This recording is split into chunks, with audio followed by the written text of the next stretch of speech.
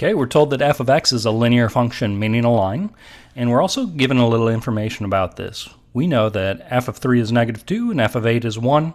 We're just asked to find the equation for this function. So I know we can use function notation. I typically just go back to think y equals mx plus b. All right, so what we'd want to do is we want to find the slope and the y-intercept. We can put f of x instead of y if we want to, though.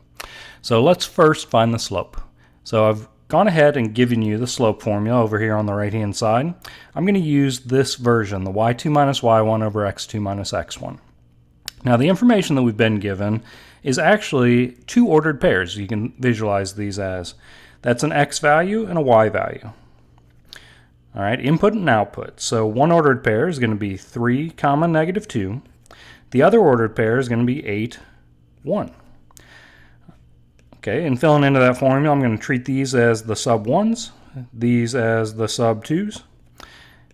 And to calculate the slope, that's going to be y2 minus y1 over x2 minus x1. So our numerator is going to be 1 minus the negative 2 is 1 plus 2 makes 3. And then 8 minus 3 makes 5 for our denominator.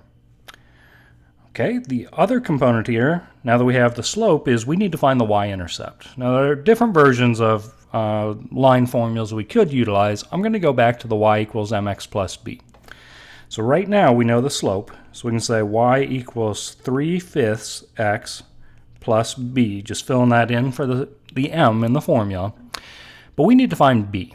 To do so, let's use one of these ordered pairs that we already are given, and let's fill in for x and for y.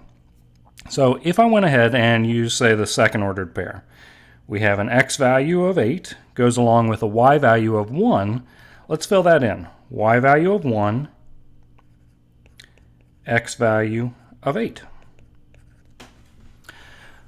And now everything's numbers except for the b. So let's do a little bit of work and try to solve for b. So the first thing I'm going to do is combine the 3 fifths and the 8. These are being multiplied, so I can visualize the 8 as being in the numerator. I can always put that over 1. So at this point, let me think. We would multiply our numerators. 3 times 8 makes 24. And multiply our denominators, well, 5 times 1 makes 5. All right, next we want to move that fraction to the other side. So I'm going to go ahead and subtract 24 fifths from both sides. That'll isolate the b and put that on the right hand side by itself. But to combine this 1 and the 24 fifths, I would like to have a common denominator. Well, I can rewrite 1 as 5 over 5 because 5 divided by 5 is equivalent to 1. And now that I have a common denominator, we're going to keep the common denominator and do the operations between the numerators. So 5 minus 24 makes negative 19 is going to be our value for b. Okay, putting these components back together, we now know b, and we know our m. So filling those both in, we could say y equals 3 fifths times x minus 19 fifths. A um, little bit of work, a little bit of practice with fractions and dealing with those. I understand that many of you may be looking at this and go, after I get to 3 fifths, that's the equivalent to I put in my calculator and get 0.6.